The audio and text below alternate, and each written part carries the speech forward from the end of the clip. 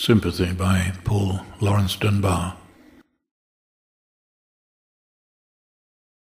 I know what the caged bird feels, alas, when the sun is bright on the upland slopes, when the wind stirs soft through the springing grass, and the river flows like a stream of glass, when the first bird sings and the first bud opes, and the faint perfume from its chalice steals. I know what the caged bird feels. I know why the caged bird beats his wing till its blood is red on the cruel bars.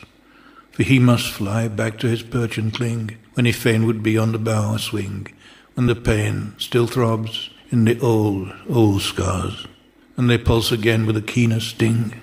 I know why he beats his wing. I know why the caged bird sings, ah me, when his wing is bruised and his bosom sore when he beats his bars and he would be free. It is not a carol of joy or glee, but a prayer that he sends from his deep heart's core, but a plea that upward to heaven he flings.